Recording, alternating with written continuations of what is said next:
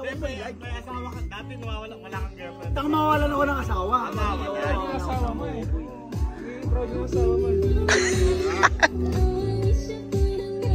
Hindi yung asawa mo eh.